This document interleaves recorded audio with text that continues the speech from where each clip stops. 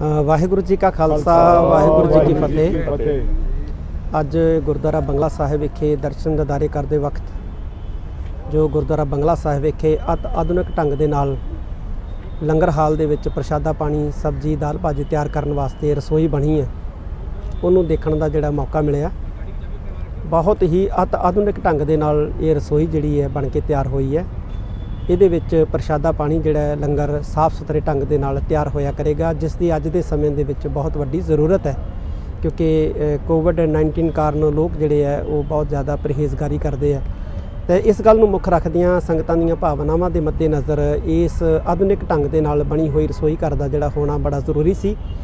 ਇਹ- ਇਹਦੇ ਲਈ ਮੈਂ ਦਿੱਲੀ ਸਿੱਖ ਗੁਰਦੁਆਰਾ ਪ੍ਰਬੰਧਕ ਕਮੇਟੀ ਦੇ ਸਮੂਹ ਮੈਂਬਰ ਸਹਿਬਾਨ ਦਾ ਔਰ ਖਾਸ ਤੌਰ ਤੇ ਦਿੱਲੀ ਗੁਰਦੁਆਰਾ ਪ੍ਰਬੰਧਕ ਕਮੇਟੀ ਦੇ ਮੁੱਖ ਪ੍ਰਧਾਨ ਸਾਹਿਬ ਦਾ ਬਹੁਤ ਤਹਿ ਦਿਲੋਂ ਧੰਨਵਾਦ ਵੀ ਕਰਦਾ ਔਰ ਇਹਨਾਂ ਨੂੰ ਵਧਾਈ ਵੀ ਦਿੰਦਾ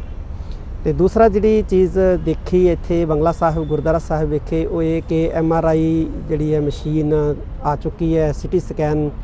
ਜਿਹੜਾ centre M R I centre ਬਣਨ ਜਾ ਰਿਹਾ ਹੈ, ਗੁਰਦੁਆਰਾ ਬੰਗਲਾ ਸਾਹਿਬ ਦੇ ਵਿੱਚ ਜੋ ਹਸਪਤਾਲ ਹੈ ਇਹ ਵੀ ਬੜੀ ਖੁਸ਼ੀ ਵਾਲੀ ਗੱਲ ਹੈ ਔਰ ਇਹ ਵੀ ਪਤਾ ਲੱਗਿਆ, ਜਾਣਕਾਰੀ ਦਿੱਤੀ ਹੈ ਪ੍ਰਧਾਨ ਜੀ ਨੇ ਕਿ ਬਹੁਤ ਹੀ ਘੱਟ ਰੇਟਾਂ ਦੇ ਉੱਤੇ, ਮੇਰੇ ਖਿਆਲ ਇੰਨੇ ਘੱਟ ਰੇਟ ਜਿੰਨੇ ਇਹਨਾਂ ਨੇ ਦੱਸੇ ਹੈ, ਕਿਤੇ ਵੀ ਨਹੀਂ ਹੋਣੇ ਭਾਰਤ ਭਰ ਦੇ ਵਿੱਚ, ਇੰਨੇ ਘੱਟ ਰੇਟਾਂ ਦੇ ਉੱਤੇ ਸੰਗਤਾਂ ਨੂੰ ਜਾਂ ਜਿਹੜੇ ਵੀ ਲੋੜਵੰਦ, ਬਿਮਾਰ, ਮਰੀਜ਼ ਹੋਣਗੇ, ਉਹਨਾਂ ਦੇ ਜਿਹੜੇ ਹੈ ਫ੍ਰੀ